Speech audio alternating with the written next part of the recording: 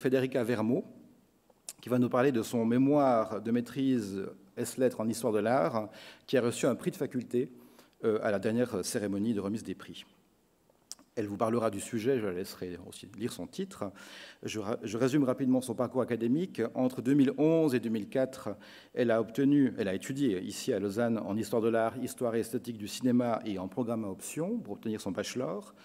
Entre 14 et 17, elle a fait la même chose pour son master en histoire et esthétique du cinéma et histoire de l'art, avec un séjour Erasmus à Rome, à la Sapienza, et une spécialisation en sciences historiques de la culture. Elle était diplômée en 2017 et ensuite a réalisé un master d'études avancées en conservation du patrimoine et muséologie des beaux-arts à l'Université de Genève. Depuis 2018, elle est de retour à l'alma mater lausannoise. Elle a inscrit un doctorat S-lettres à l'Université de Lausanne, donc en histoire de l'art contemporain dans le Centre des sciences historiques de la culture. Elle est actuellement assistante doctorante en histoire de l'art contemporain auprès de ce centre et médiatrice culturelle au musée de Puy. Et je note aussi qu'elle a obtenu en même temps un certificat supérieur de guitare classique au Conservatoire de Lausanne avec les félicitations du jury. Je te passe la parole.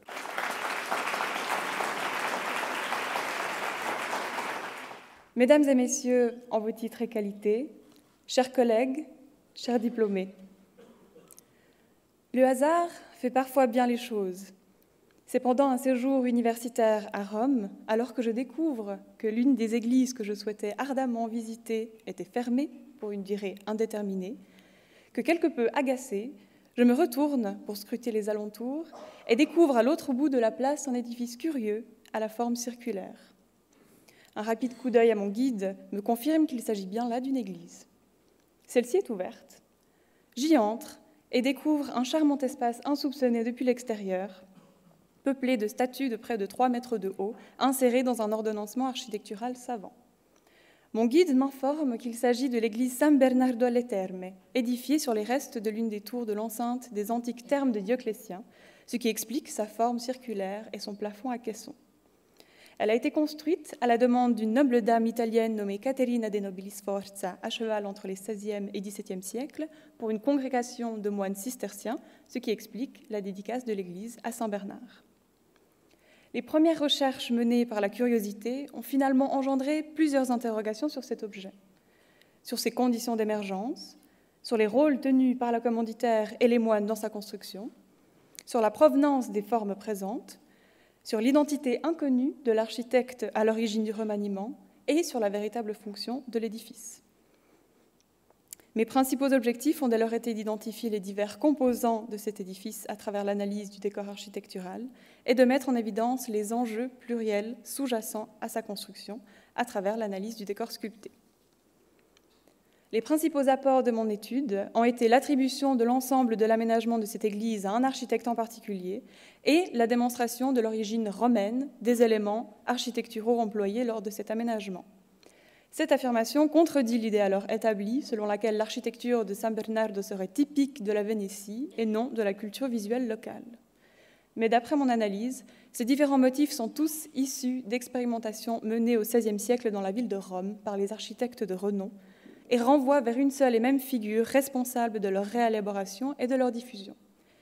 Il s'agit de Giacomo della Porta, que vous connaissez peut-être comme celui qui a complété la coupole de la basilique Saint-Pierre dessinée par Michel-Ange au Vatican et qui a conçu la célèbre façade de l'église du Jésus à Rome. C'est donc à lui que je propose d'attribuer l'adaptation de l'église sur la base d'une analyse stylistique comparative. Par exemple, contrairement à ce que l'on pourrait penser, ce curieux chapiteau ionique à abac incurné et orné d'un feston, cette guirlande qui relie les deux volutes, ne résulte pas de la fantaisie de l'architecte de San Bernardo, mais a une origine bien précise. Il a été inventé par Michel-Ange, qu'il a notamment utilisé au Palais des Conservateurs à Rome autour de 1563, soit une année avant sa mort.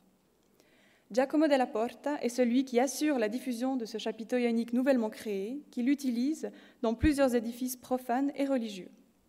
Les chapiteaux ioniques de Della Porta possèdent un gorgerin allongé et un feston peu arqué, deux caractéristiques également présentes à San Bernardo. Une analyse similaire a été menée avec les autres motifs architecturaux, comme pour l'entablement qui possède un vocabulaire particulier. Premièrement, les chapiteaux suivent le dédoublement des pilastres, alors que l'architrave accompagne uniquement le rythme du pilastre central. Deuxièmement, alors que l'architrave offre cette saillie, la corniche poursuit quant à elle sa course sans s'arrêter. Troisièmement, l'entablement ne possède pas de frise entre ces deux éléments, contrairement à l'usage courant, produisant une superposition directe entre l'architrave et la corniche. Comme vous le voyez, ces trois caractéristiques sont issues des expérimentations respectives de Bramante, de Michel-Ange et de Jules Romain, menées à Rome au XVIe siècle, et Giacomo della Porta est le seul architecte à avoir proposé à son époque un amalgame de ces différents éléments au sein de ces édifices religieux. Les résultats sont donc éloquents, et les rapprochements se poursuivent également dans les détails décoratifs plus discrets. Finalement, l'expérience de Della Porta dans la transformation de bâtiments préexistants en églises ces précédentes expérimentations avec des édifices circulaires et les liens qu'il est possible d'établir avec la commanditaire de San Bernardo achèvent d'encourager la bonne réception de l'hypothèse selon laquelle il serait à l'origine du remaniement de l'antique rotonde des termes de Dioclétien. À propos de la commanditaire, Caterina de Nobilis Forza, l'analyse de la décoration révèle quant à elle que cette église était moins destinée à accueillir euh, les moines cisterciens qu'à d'une part raviver la mémoire des membres de sa famille et d'autre part renvoyer une image glorieuse de sa personne.